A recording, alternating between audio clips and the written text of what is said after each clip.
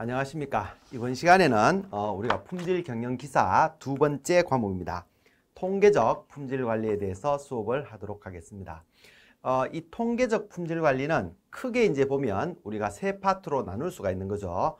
공업 통계 부분이 있고 그리고 관리도 부분이 또 있고 그리고 샘플링 부분 이렇게 해서 각각을 나눌 수가 있습니다. 어, 이 전체에서 이제 20문제가 나오기는 하지만 실기에 가면 많은 비중을 차지하고 있죠. 그렇기 때문에 여러분들이 뭐 필기에만 합격한다라고 해서 우리가 자격증을 취득할 수 있는 게 아니기 때문에 요 파트는 실기를 위해서라도 요 파트만 여러분들이 학습을 잘 하시게 되면 실기는 굉장히 쉽게 우리가 넘어갈 수가 있습니다. 그렇기 때문에 필기를 공부하면서도 좀 쉽게 할 수 있는 방법을 찾아야 되니까 여러분들이 체계적으로 공부할 필요가 있다. 뭐 이렇게 이야기를 드릴 수 있겠습니다. 그래서 첫 번째 이제 먼저 우리가 데이터의 정리 방법에 대해서 나온다 그죠? 데이터의 정리 방법에 대해서 나오는데 각각의 데이터를 정리하는 방법 말 그대로 정리하는 방법인데 이 파트에서는 이제 여러분들이 그 공학용 계산기를 굉장히 잘 다루셔야 됩니다. 공학용 계산기를 다루셔야 되고 이 공학용 계산기는 우리가 수업 시간에 설명을 드릴 수가 없기 때문에 별도로 촬영을 해서 올려놨으니까 거기에서 여러분들이 보시고 공학용 계산기 전반적인 우리가 품질 경영 기사에서 사용되는 어, 어떤 기능이나 사용 방법 이런 것들에 대해서 이야기를 드렸으니까 그 부분을 꼭 보시고 이 강의를 보셔야 된다 이렇게 이야기를 드릴 수가 있겠습니다. 먼저 데이터의 정리 방법에 대해서 학습을 하도록 하겠습니다. 첫 번째 보면 모 집단과 시료라는 얘기가 나온다 그죠? 모 집단. 우리가 이제 지금부터 시작해서 모 집단과 시료라는 얘기는 굉장히 많이 나올 겁니다. 이게 이제 직접적으로 우리가 뭐 시험 문제 나오기도 합니다만은 이 단어가 뭐 정의라든지 이런 것들이 직접적으로 잘 나오지는 않아요. 나오지는 않은데 문제에서 여러분들이 이게 의미하는 바를 아 모집단 시료이라면 이런 의미를 가지고 있구나라는 걸 알고 계셔야만 여러분들이 문제를 좀 더 쉽게 이해를 할 수 있다 이렇게 이야기를 드릴 수가 있겠습니다. 모집단과 시료라는 것은 뭐냐면 우리가 예를 들어서 예를 들어서 여러분들 우리가 운동을 할 적에 이제 뭐 어, 볼링을 친다 그죠? 볼링을 치게 되면 볼링을 치게 되면 볼링을 얼마나 칩니까? 라고 사람들이 묻죠. 만약에 제가 여러분들한테 묻는다 그러면 볼링을 얼마나 칩니까? 라고 물었습니다. 그러면 여러분들이 어떻게 대답을 할 수 있느냐면 아 나는 볼링을 잘 칩니다. 나는 못 칩니다. 이렇게 얘기를 할 수가 있겠지 그죠? 이거는 정성적인 표현이에요. 근데 그런 표현을 가지고는 정확하게 나타낼 수가 없죠. 그죠? 아 당신은 뭐 예를 들어서 뭐 부자입니까? 가난합니까? 나는 부자입니다. 가난합니다. 그렇게 했을 때 이건 정성적인 표현입니다. 그걸 가지고 얼마나 부자인지, 얼마나 잘하는지, 얼마나 가난한지, 얼마나 뭐 못하는지 알 수가 없는 거죠. 그러다 보니까 이런 것들을 수치화 시켜줄 필요가 있다라는 얘기입니다. 예를 들면 당신은 볼링을 얼마 칩니까? 아 나는 보니까 한 200 정도 칩니다. 아 잘 치네 이렇게 되겠지 그죠? 당신은 얼마나 잘 삽니까? 라고 얘기를 했을 때 나의 재산은 뭐 현금만 한 100억 됩니다. 라고 얘기를 하면 이게 숫자의 힘입니다.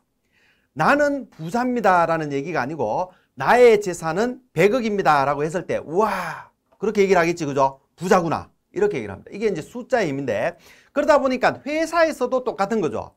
우리 회사에서 만들어내는 당신네 회사에서 만들어내는 제품이 어떠냐라고 했을 때 어, 우리 회사 제품 아주 좋지. 이거는 크게 의미가 없다라는 얘기입니다. 얼마나 좋은지를 알 수가 없죠. 그러다 보니까 그 부분에 대해서 이제 구체적으로 수치화 시켜줄 필요가 있다라는 얘기입니다. 그러면 뭐냐 하면 여기에서 우리가 볼링 실력이 얼마입니까? 라고 했을 때 나는 200입니다. 라고 얘기를 하는 거는 뭐냐 하면 나의 그 값은 200이라는 그 값은 나의 볼링 실력의 대표 값이죠. 그러면 내가 지금 친구하고 볼링을 치러 갔을 때 딱 200이 나오느냐 하면 그렇지 않습니다. 199가 나올 수도 있고 201이 나올 수도 있겠죠. 그렇지만 내 볼링 실력의 대표값은 얼마다? 200이다. 이렇게 이야기를 할 수가 있겠죠.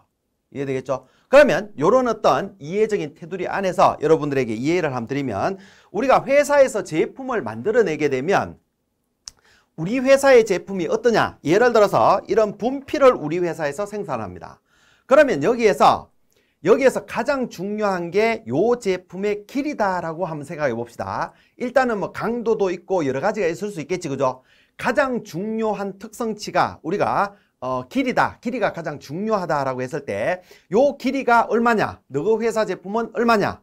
물론 이제 우리 회사의 대표값은 있을 겁니다. 그렇죠? 그러면 만약에 이 대표값을 모른다라든지 궁금하다라고 했을 적에는 이 값을 알아봐야 되겠죠. 그러면 이 모 집단이라는 거는 뭐냐면 우리가 알고 싶은 집단 내가 알고 싶은 집단 이게 모 집단이 되는 겁니다. 그러면 이 모 집단이라는 거는 우리 회사에서 생산하는 이 전체 집단 이 전체 집단이라는 거는 뭐냐면 우리가 우리 회사에서 생산하는 이 제품은 어제도 생산했었고 어저께도 생산했었고 또 뭐냐면 오늘 또 생산하죠. 내일 또 생산하고 일주일 후에도 생산하고 또 한 달 후에도 생산하고 1년 후에도 생산할 겁니다. 물론 1년 전에도 생산했겠죠. 그러면 이 개수가 몇 개냐라고 했을 때 셀 수가 없죠. 얼마나 앞으로 생산할지도 모르잖아. 그죠? 그렇게 됐을 때 이 집단, 이 집단, 이 집단을 어, 우리가 모 집단, 실제적으로 알고 싶단, 알고 싶은 집단입니다. 이 모 집단은 전체가 이제 유한할 수도 있고 개수가 한계가 있을 수도 있고 아까 번에 얘기했던 것처럼 개수가 무한할 수도 있습니다. 그래서 이 모집단은 크게는 이제 유한 모집단과 무한 모집단으로 나누게 됩니다. 그런데 우리 회사에서 생산하는 이 제품에 대한 길이를 알기 위해서 여기에서 생산한 이 모집단을 다 조사할 수는 없습니다. 왜 그러냐면 이걸 다 조사한다라는 것은 우선은 뭐냐면 개수가 너무 많죠. 알죠? 개수가 많다라는 얘기는 무슨 얘기입니까? 시간이 많이 걸린다는 얘기입니다. 시간이 많이 걸린다라는 얘기는 돈이 많이 드는 거죠. 뭐 그런 여러 가지 시간적인 거나 경제적인 면에서 따졌을 때 다 조사할 수는 없습니다. 알죠? 그러다 보니까 어떻게 하냐면 여기에서 일부를 뽑아내게 되겠죠. 여기에서 일부를 뽑아서 이만한 집단을 만들게 됩니다. 알죠? 이걸 가지고 우리가 뭐라고 얘기를 하냐면 거기에 보면 시료라고 이야기를 하는 거죠. 시료라고도 얘기를 하고 표본이라고도 얘기를 하고 때에 따라서는 뭐 샘플이라고도 얘기를 하고 뽑았는 거죠. 샘플 뭐 여러 가지가 있습니다. 여러 가지 뭐 이런 의미를 가지고 있다. 뭐 우리가 주로 쓰는 거는 이제 시료 혹은 표본 뭐 이렇게 보시면 될 것 같습니다. 용어를. 그래서 이런 용어를 쓴다. 그래서 여기에서 뽑아서 우리가 이 집단을 조사를 하게 되는 거죠. 그러면 이 집단을 조사를 했을 때 여기에서 뽑을 때 어떻게 뽑아야 됩니까? 여기에서 우리 회사에서 생산하는 제품을 뽑아서 조사를 한다 그죠? 그럼 어떻게 뽑아야 돼요? 잘 뽑아야지. 알겠죠? 잘 뽑아야지 그죠? 그러다 보니까 이 잘 뽑기 위한 방법 이걸 뭐라고 얘기를 하냐면 이걸 갖다 우리가 뽑는 행위 자체를 샘플링이라고 그렇게 얘기를 하는 거죠. 그죠? 뽑는 행위 자체는 샘플링이라고 얘기를 하는 거고 뽑혀진 거는 우리가 일반적으로 샘플이라는 용어를 쓰죠. 그리고 우리는 여기에서 이제 시로라고 얘기를 하고 표본이라고 얘기를 하는 이 용어를 더 많이 쓴다 그랬다. 그죠? 그래서 우리가 어, 뒤에 가면 뭐 통계학도 배우게 되지만 지금부터 샘플링이라든지 또 샘플링해서 여기에서 뽑았을 때 뽑았을 때 이 특성치들을 관리하기 위한 그러다 보니까 관리도 파트도 배우게 된다. 이게 이제 큰 세 파트죠. 알겠죠? 여기에 대해서 조사를 하고 우리 회사에서 생산하는 제품의 특성치가 어떤지를 조사를 하고 그 조사를 하려니까 잘 뽑아야 되니까 이 샘플링 두 번째 파트가 되겠지 두 번째 그죠? 그리고 난 뒤에 샘플링 하고 나면 또 뭐가 있습니까? 또 그 샘플링된 그죠? 특성치가 있으면 관리가 된다라고 했을 때 그 관리 그죠? 관리도로 이제 관리를 하게 되는 겁니다. 그런 의미를 가지고 있다. 이렇게 생각하시면 되는데 그러면 여기에서 뽑게 됩니다. 모 집단. 이 집단은 우리가 알고 싶은, 싶은 집단입니다. 우리가 알고 싶은 집단을 모 집단이라고 얘기를 했고 다 조사할 수 없으니까 여기에서 일부를 뽑아낸다라고 했는데 그러면 실제적으로 여기에서 보면 여기에서 보면 우리가 뽑아서 뭐 예를 들어서 볼링을 얼마 칩니까? 라고 했을 때 내가 볼링장에 가서 쳐보겠지 그죠? 오늘 또 쳐보고 오후에도 쳐보고 저녁에도 쳐보고 이렇게 해서 볼링을 해봤더니 200 평균 200이 나온다라는 200이라는 거는 뭐냐면 내가 볼링을 200을 친다라는 거는 이 200이라는 값은 나의 뭐 대표값이지 대표값. 그래서 여기에는 뭐가 나온다? 대표값이라는 게 나옵니다. 나의 어떤 실력을 대표할 수 있는 값. 예를 들어서 우리 회사에서 생산하는 제품들을 뽑아서 조사했다라고 했을 때 당신네 회사에서 생산하는 제품의 길이는 얼마냐라고 얘기를 했을 때 우리 회사 제품의 길이는 이거다라고 얘기를 하면 그 값은 그 회사 제품의 길이의 대표값을 얘기를 하는 거죠. 근데 이 대표값만 가지고는 그 값을 전체적으로 다 나타낼 수가 없더라라는 얘기입니다. 알죠? 그러다 보니까 또 뭐가 나오느냐 하면 여기에는 반드시 흩어짐의 정도가 같이 나와야 된다. 그래서 우리는 모든 집단, 모든 특성을 나타낼 적에는 항상 뭐 대표값과 흩어짐의 정도를 같이 나타내게 된다. 그래서 이걸 가지고 아, 이 집단은 대표값이 이 정도 될 거야. 그리고 흩어짐의 정도는 이 정도 될 거야. 라고 추측을 한다. 이렇게 생각을 해 주시면 될 것 같습니다. 그러면 이제 교재로 다시 돌아옵니다. 교재로 다시 돌아오게 되면 거기 보면 모집단과 시료 이렇게 돼 있는데 모집단은 뭐로 돼 있습니까? 모집단은 조사 대상 전체 즉 뭐 우리가 알고 싶은 집단 모집단은 우리가 알고자 하는 집단이 모집단이 되는 거지. 알죠? 모집단 그렇게 되는 거고 표본 뭐 시료 때에 따라서는 샘플이라고 이야기를 한다 그죠? 용어에 대해서 알고 계셔야 됩니다. 이거는 뭐냐면 모 집단으로부터 어, 뽑힌 일부 알죠? 일부를 얘기하는 거고 여기에서 뽑았는 거죠. 일부를 얘기하는 거고 그리고 이거는 뭐냐면 모 집단의 모수를 알기 위해서 아 이 값은 이것쯤 될 거야. 추정의 개념을 가지고 있다. 이렇게 우선은 생각해 주시면 될 것 같습니다. 여기에서는 모집단이 뭐다. 그리고 표본, 시료라는 게 뭐다라는 정의만 여러분들이 정확하게 알고 계시면 될 것 같습니다. 그러면 밑에 보면 모집단이 무한대로 크면 이게 엄청나게 많습니다. 저기 가면 부산에 해운대 해수욕장 있죠? 모래 알만큼 많습니다. 그죠? 셀 수가 없죠. 이걸 갖다가 무한 모집단이라고 얘기를 하고 예를 들어서 뭐 예를 들어서 우리 학급이다. 그죠? 우리 학년이다. 학급이다. 이렇게 했을 때는 어 1학년 1반 이렇게 얘기를 하면 거기에는 뭐 30명이 됐던 60명이 됐던 인원이 한정이 있죠. 이때를 갖다 우리가 유한 모집단이라고 그렇게 얘기를 합니다. 그래서 한계가 있느냐 없느냐에 따라서 엄청나게 큰 무한 모집단이 있고 모집단 중에서도 그 한계가 있는 유한 모 집단이 있다. 이렇게 생각을 해 주시면 될 것 같습니다. 그리고 두 번째 보면 데이터의 종류가 나온다. 그죠? 데이터의 종류가 있는데 여기에서는 분류, 구분을 조금 해 주셔야 됩니다. 연속형이 있고 연속형. 여기 데이터에는 연속형이 있습니다. 연속형. 연속형이 있고 그리고 이거하고 반대되는 개념이 뭐냐면 연속적이 아닌 걸 얘기하겠죠. 연속적이 아닌 이걸 갖다가 이산형이라고 그렇게 얘기를 합니다. 알죠? 이산형. 연속형과 이산형이 있다. 그래서 연속형이라는 거는 다른 말로 하면 우리가 주로 보면 계량치를 나타냅니다. 이거는 계량치를 나타내고 이거는 우리가 개수치라고 그렇게 얘기를 하죠. 조금 구분하셔야 됩니다. 연속형이냐 계량치냐 아니면 이산치 개수치냐 우리가 요 부분은 이제 품질 경영 할 적에도 한번 제가 이야기를 드렸습니다. 연속형 계량치는 뭐고 개수치는 뭐냐라고 했을 때 계량치라는 거는 주로 보면 연속적인 거기 때문에 이거는 무게라든지 그죠? 혹은 길이라든지 온도라든지 혹은 압력이라든지 기타 등등 이런 것들이 주로 보면 계량치에 해당이 되는 거고 그리고 계수치라는 거는 우리가 뭐 예를 들어서 부적합수 부적합수 혹은 우리가 많이 사용하는 또 뭐 부적합수 어 부적합품 수 부적합품 부적합품 수 뭐 이렇게 이야기할 수도 있습니다.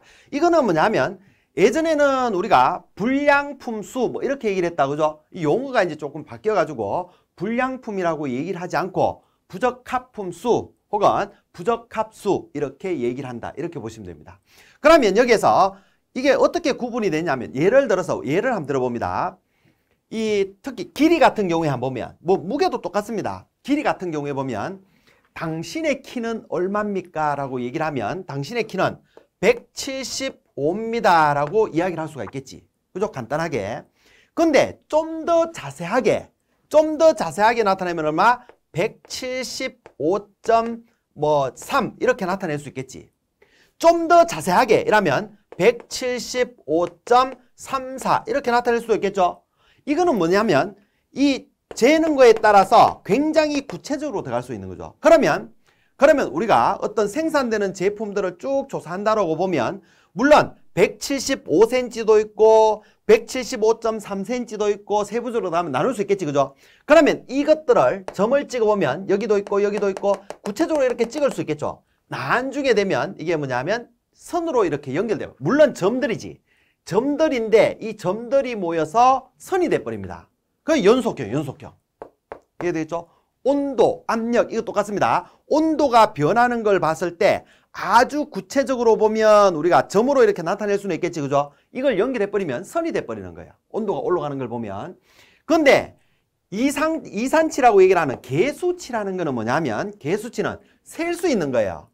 알죠? 이 부적합품 수 셀 수 있겠죠? 부적합 수도 셀 수 있습니다. 하나, 둘, 셋, 넷. 셀 수 있는 걸 갖다 우리가 개수치, 이산형이라고 그렇게 얘기를 합니다. 알죠? 그러면 예를 들어서 제품이 이렇게 생산이 됐는데 이걸 하나를 가지고 가서 검사를 했어요. 검사를 했더니 보니까 이거 잘못 만들었네.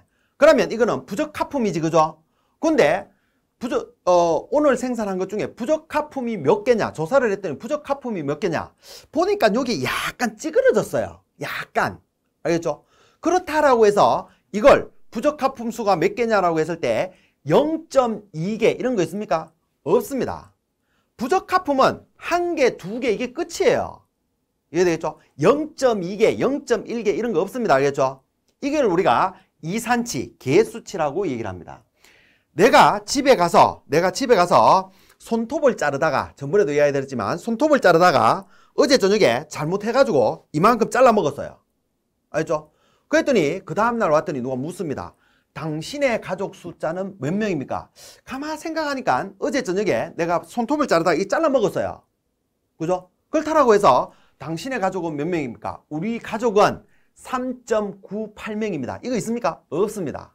알죠? 3명 아니면 4명 이게 끝이지 소수점 이하로 들어갈 수가 없는 거지. 이걸 갖다 우리가 개수치라고 그렇게 얘기를 합니다. 예를 들면 주사위를 던지잖아요. 그죠? 주사위를 던지면 나올 수 있는 눈의 숫자는 1, 2, 3, 4, 5, 6 이 끝이에요.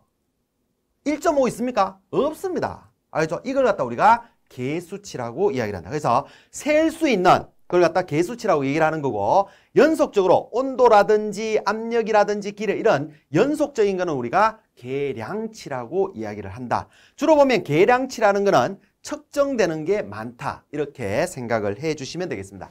두 개 구분을 하셔야 됩니다. 두 개.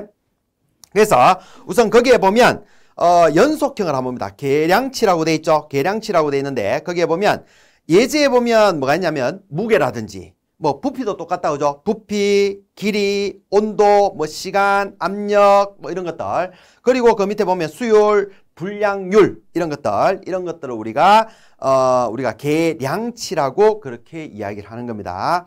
품질 척도로는 거기에 보면 뭐 표준 편차 CP라는 거는 공정 능력 지수를 얘기하는 거다. 그죠? 공정 능력 지수. CPK는 치우침이 있을 때 공정 능력 지수를 이야기를 하는 거죠.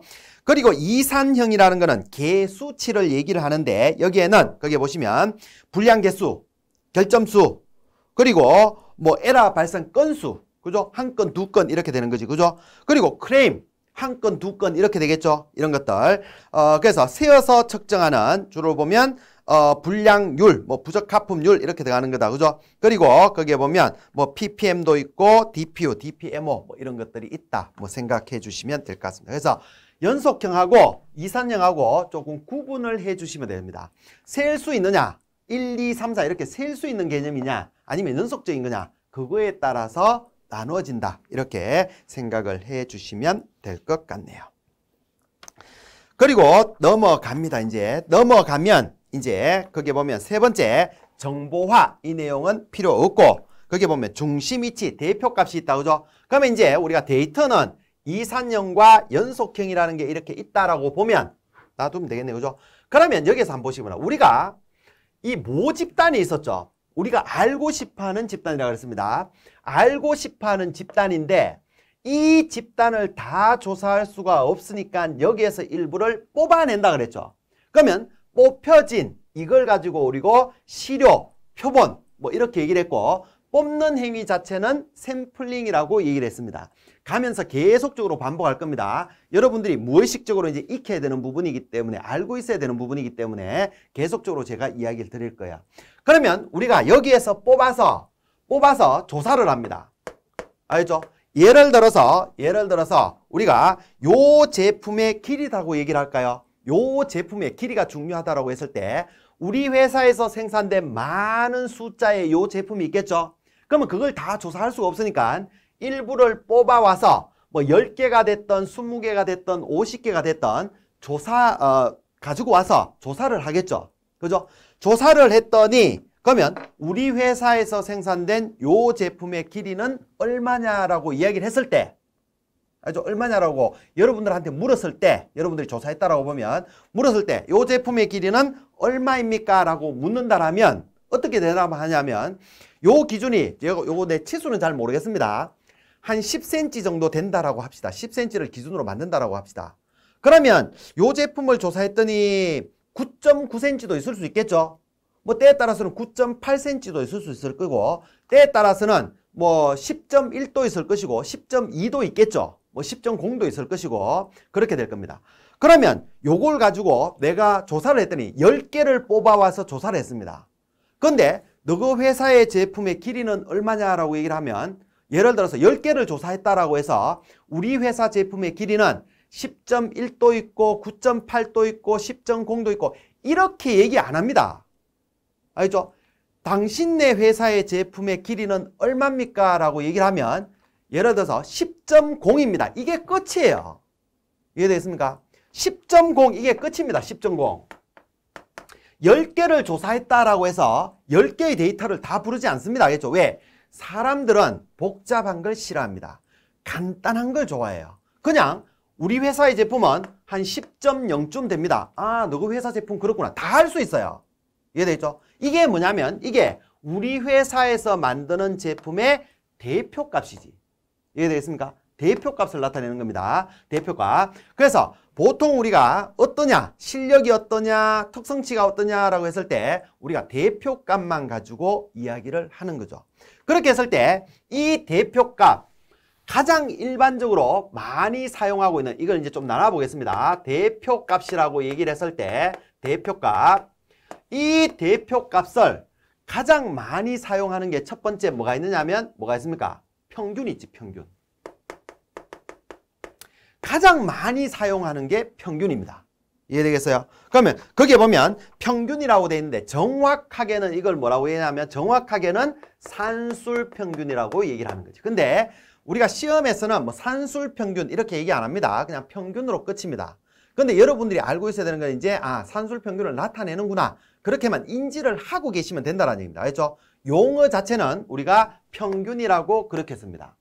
그러면 예를 들어서 봅니다. 예를 들어서 여기에서 우리가 이 집단에 그러면 개수가 몇 개냐라고 했을 때 알죠?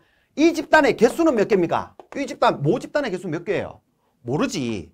무한개일 수도 있고 유한개일 수도 있겠죠. 그죠? 그러면 일단은 이 집단의 개수는 모릅니다. 그러면 우리가 이 집단의 개수를 어떻게 쓰냐면 large n이라는 기호를 씁니다. 알죠? 몇 개인지는 모르겠지만 대문자 n개다. 그죠? 넘버 이렇게 되는 거죠. 그러면 여기에서 일부를 뽑아내겠죠? 뽑아냈는데 몇 개 뽑고 싶습니까?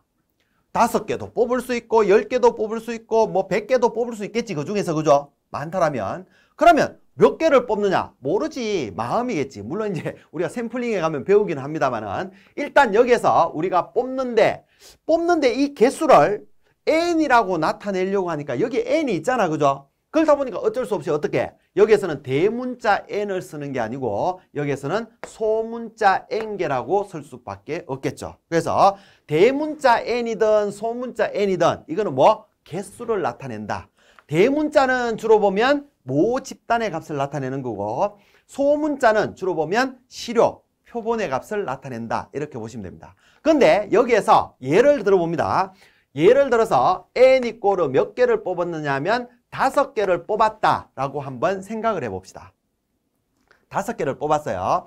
다섯 개를 뽑아서 조사했더니 다섯 개의 값이 어떻게 나왔느냐 하면 첫 번째 거 조사했더니 예를 들어서 6이 나왔습니다. 알죠? 다섯 개를 뽑아서 조사를 했습니다. 측정을 할, 검사를 하는 거죠. 검사를 했더니 뭘 검사했는지는 모르겠는데 6이라는 값이 나왔습니다. 그리고 두 번째 걸 조사했더니 7이라는 값이 나왔네. 알죠? 그리고 세 번째 걸 조사했더니 8, 네 번째 걸 조사했더니 9, 그리고 어, 다섯 번째 걸 조사했더니 10이라는 값이 나왔습니다. 이해되겠죠?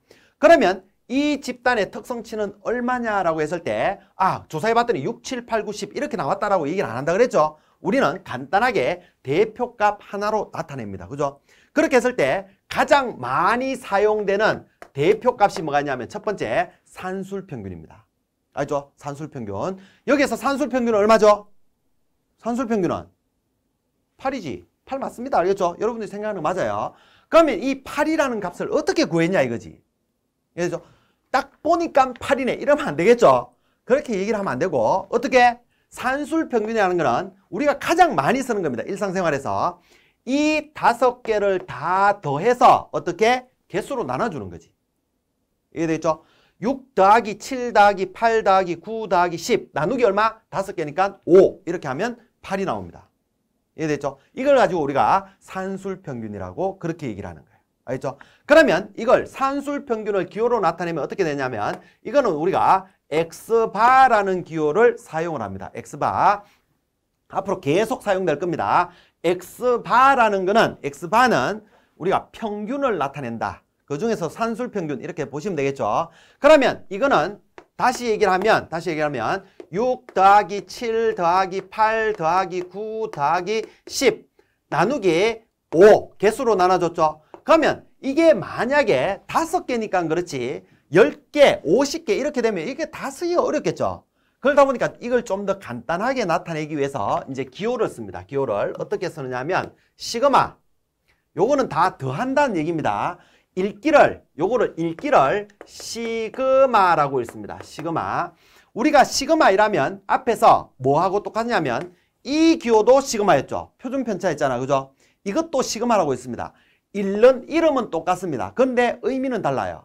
이거는 흩어짐의 정도를 나타내는 거고 이 시그마라는 기호는 다 더한다 이런 얘기입니다.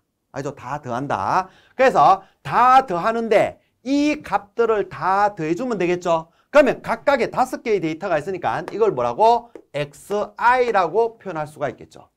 알죠? x 첫 번째 거, 두 번째 거, 세 번째 거, 네 번째 거, 다섯 번째 거 다 더해주자 이런 얘기입니다. 그리고 뭐냐면 나누기 밑에 거는 5는 뭐였죠? 뽑았는 개수였지. 뽑았는 개수. 그러니까 당연히 n이라고 나타낼 수가 있다. 이렇게 생각을 해 주시면 될 것 같습니다. 그죠? 그래서 시그마 xi를 n으로 나눠서 우리가 x바 산술 평균을 구할 수가 있다. 가장 많이 사용하는 거죠. 일반적으로 그렇게 생각을 해 주시면 될 것 같습니다. 그런데 이 대표값을 나타내는 것은 뭐냐면 이 산술 평균만 있는 게 아니에요. 이 산술 평균은 우리가 가장 일상생활에서 많이 쓰는 건데 이 산술 평균은 단점이 있습니다. 단점이. 그게 뭐냐면 예를 들어서 예를 들어서 우리가 여기에서 여기에서 예를 들어서 이게 첫 번째 게 6이 나왔고 두 번째 게 7이 나왔고 세 번째 게 8이 나왔고 어, 네 번째 게 9가 나왔는데 만약에 다섯 번째 걸 잘못 측정을 했어요. 잘못 측정을 해서 예를 들어서 이 값이 잘못 측정을 해서 100이 나와 버렸습니다. 100이. 그러면 이때 산술 평균이 얼마냐? 다 더하면 되겠지 그죠? 6, 7, 8, 9, 100 다 더해서 5로 나눠주면 됩니다. 알죠? 그러면 이때 x바가 얼마가 나오느냐 하면 26이 나올 겁니다. 계산 한번 해보세요. 뭐 할 필요는 없겠지만 26 정도가 나올 겁니다. 100만 해도 5로 나누면 20이잖아. 그죠? 20이기 때문에 한 26 정도 나올 겁니다. 그러면 여기 보시기 바랍니다. 다른 데이터들은 전부 단자리 6, 7, 8, 9 이렇게 나오는데 이 하나의 잘못된 데이터 100이라는 데이터에 의해서 평균치가 원래는 개략적으로 8이 나와야 되는데 8이 나와야 되는데 얼마가 26이 나와 버리는 거지. 맞잖아 그죠? 그러다 보니까 이 잘못 측정된 데이터 때문에 평균치가 확 올라갑니다. 이걸 가지고 뭐라고 얘기하면 이걸 가지고 이상치라고 그렇게 얘기합니다. 알죠? 이 산술 평균은 우리가 가장 많이 사용하고 있는 거지만 이 이상치의 영향을 받습니다. 그렇다 보니까 문제가 되는 거예요. 원래는 이 평균이 아니지 그죠? 근데 이 평균으로 바뀌어버린 겁니다. 이거는 지금 굉장히 높게 잡았을 때 얘기를 하는 거지만 굉장히 낮게 잡았을 적에도 똑같겠죠. 그 하나의 데이터에 의해서 평균치가 확확 변하는 거예요. 이해되죠? 그런 단점이 있다. 이렇게 생각해 주시면 될 것 같습니다. 그러다 보니까 또 뭐냐면 이게 산술 평균은 많이 쓰는 건데도 불구하고 이거는 데이터를 다 더해야 되죠. 그죠? 다섯 개니까 다섯 번만 더 하면 되겠지만 50개였다. 그럼 50개 다 더해야 됩니다. 얼마나 귀찮습니까? 시간도 오래 걸리고. 그러다 보니까 이거는 조금 너무 힘들구나. 그래서 계략적으로 우리가 대략적으로 어떤 대표값을 구할 때 또 사용하는 게 뭐냐면 거기에 보면 중앙값이라는 게 있습니다. 중앙값. 중앙값은 우리가 중앙값 median이라고 그렇게 얘기를 한다. 그죠? median.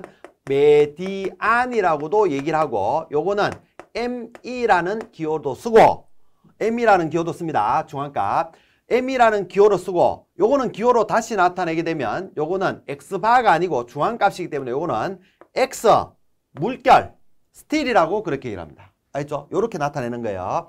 말 그대로 중앙에 있는 값 알죠? 중앙에 있는 값 median이라고 얘기를 하고 ME라고 나타내고 X tilde라고 얘기를 하는 물결처럼 이렇게 그립니다. 이거는 뭐냐면 요거는 예를 들어서 요런 데이터가 있을 때 요런 데이터가 있을 때 어, 다섯 개를 뽑아서 줬더니 6, 7, 8, 9, 10이 나왔다. 그죠?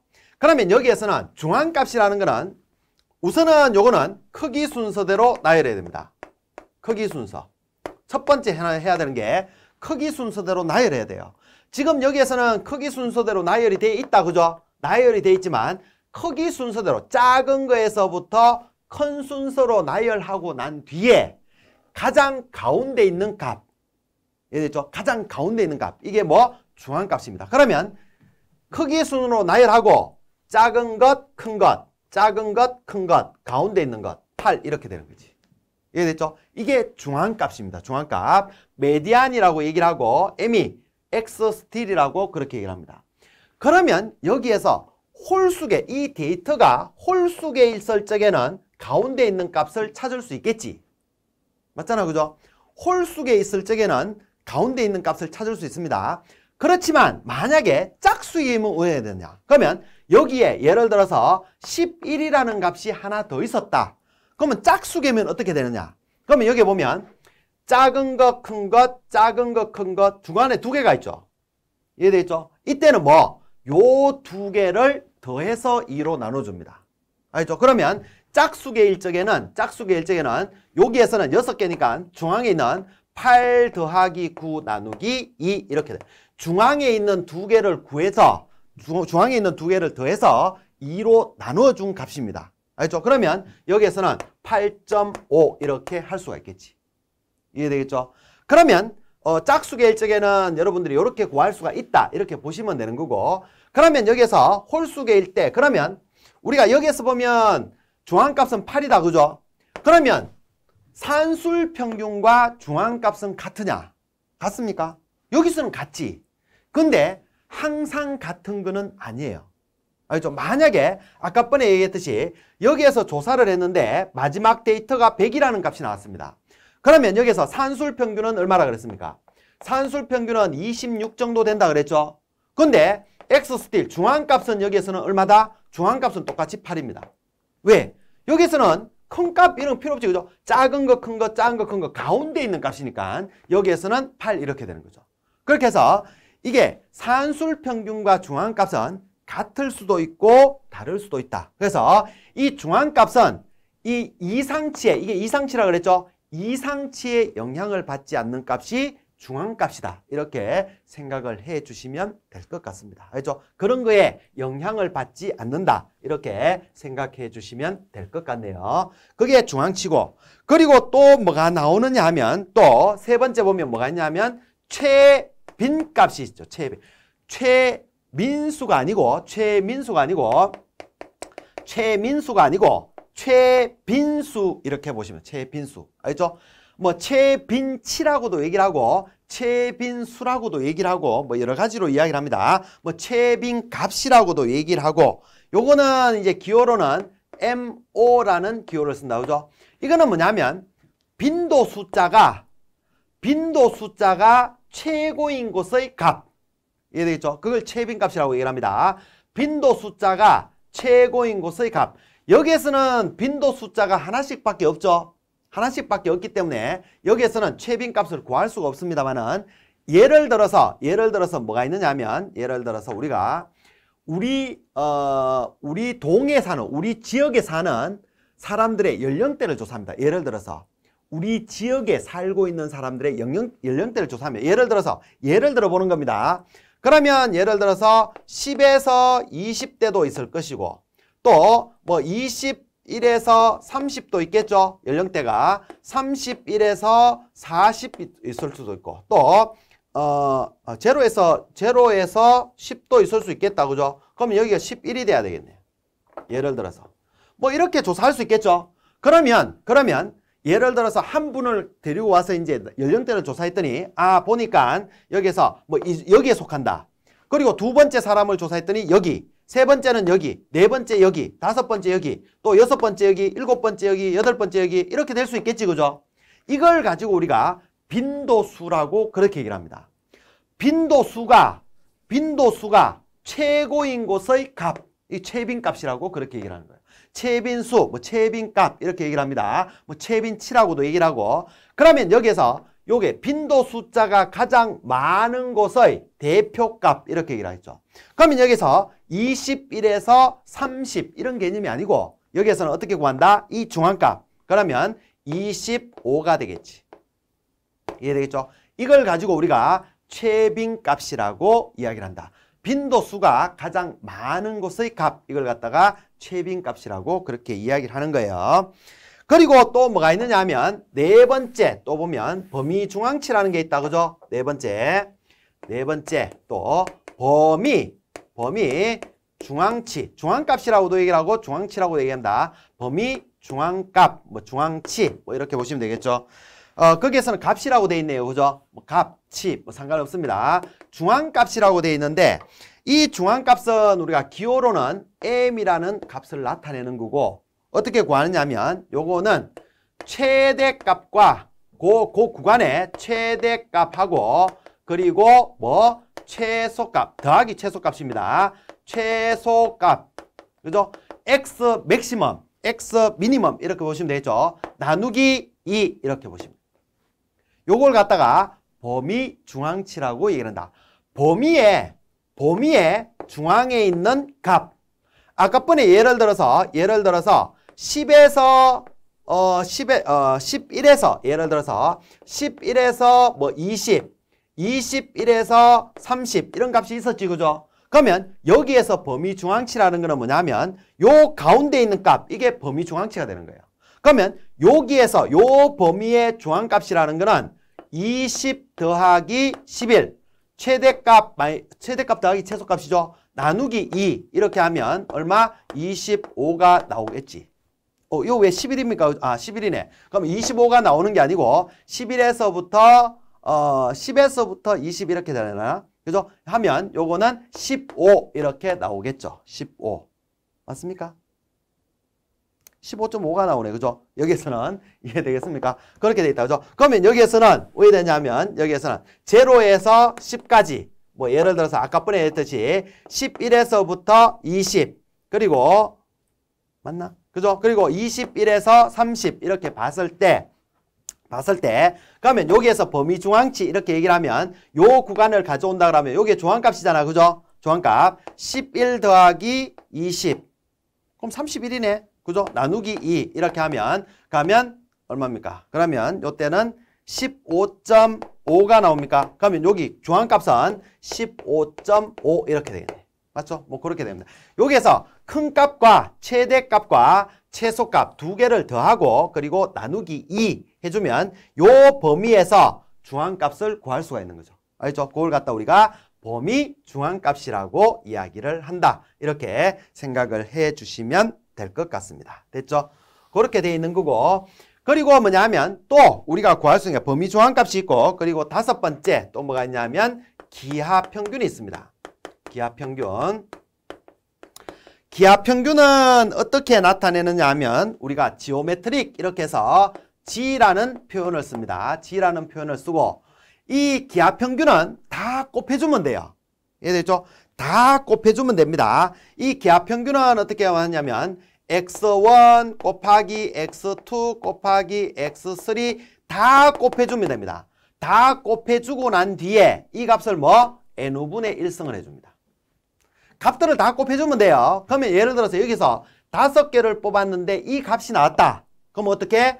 여기서 기하평균은 저기에서 어떻게 구하냐면 6 곱하기 7 곱하기 8 곱하기 9 곱하기 10 이렇게 되겠죠. 이거에 뭐 다섯 개니까 5분의 1승 이렇게 구할 수가 있는 거지.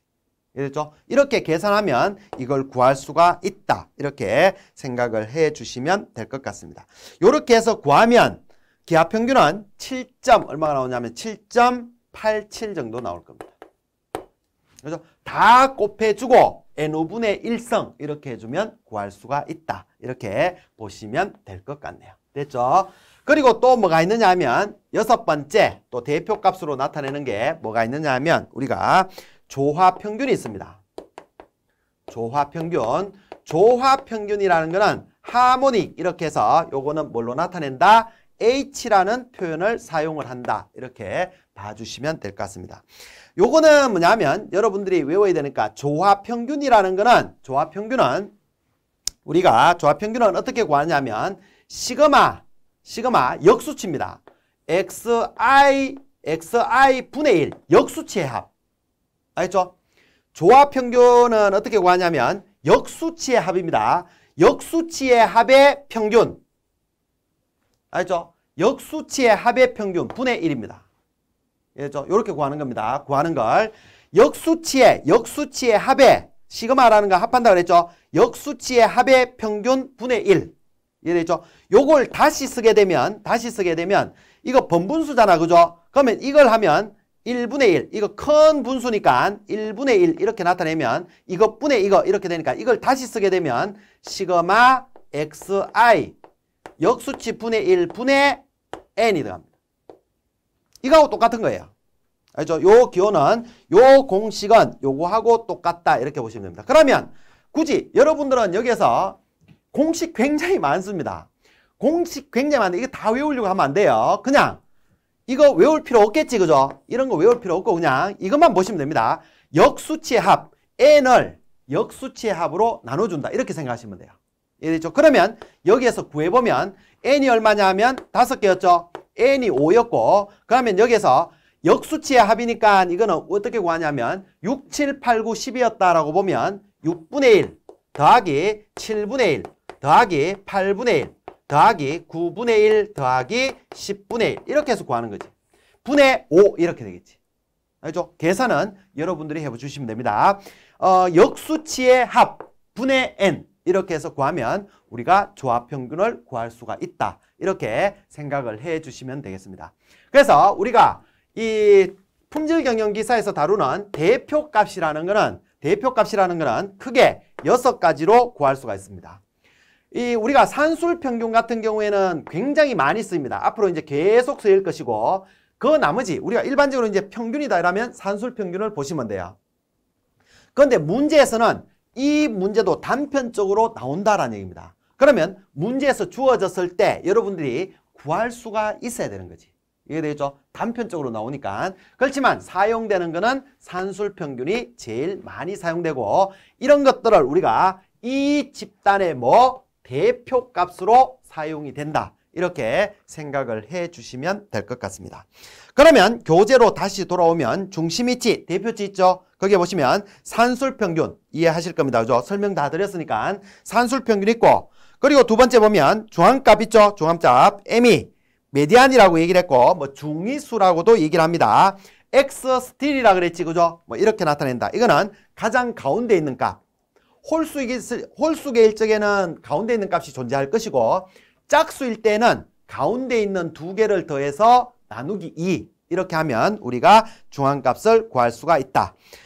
됐죠? 그래서 데이터를 크기 순서로 나열해야 됩니다. 크기 순서로 나열하고 가운데 있는 값인데 밑에 줄에 보면 데이터의 수가 짝수이면 중앙에 있는 두 개의 데이터의 평균이 중앙값이 된다. 그리고 이상치에 동그라미 이상치에 이상치에 의해 영향을 받지 않는 그게 뭐 중앙값이다. 이렇게 보요 이상치에 영향을 받지 않는 값은 뭐 중앙값이다. 이렇게 생각하시면 됩니다. 그리고 최빈값이라는 거는 빈도수가 가장 많은 곳의 대표값 MO라고 그렇게 돼 있다. 그죠? 이걸 최빈수, 뭐 최빈값, 최빈치 이렇게 사용을 합니다. 그리고 범위 중앙값이라는 거는 범위 중앙값이라는 거는 최대값과 최소값을 합해서 나누기 2 이렇게 나눠주면 된다 그랬죠. 그러면 그 범위의 가운데 값, 중앙값을 구할 수가 있다. 이렇게 생각해 주시면 될 것 같고 그리고 기하평균이라는 거는 다 곱해서 개수분의 1 이렇게 얘기를 했죠. 개수분의 1승 이렇게 됩니다. 그렇게 해서 구할 수가 있는 거고 그리고 조합평균은 역수의 합이라 그랬죠. 역수의 합을 n을 역수의 합으로 나눠주면 된다. 뭐 이렇게 이야기를 드렸습니다. 이게 뭐 대표값을 나타내는 값들이다. 이렇게 생각해 주시면 될 것 같습니다. 다음 시간에는 우리가 흩어짐의 정도에 대해서 학습을 하도록 하겠습니다. 수고 많이 하셨습니다.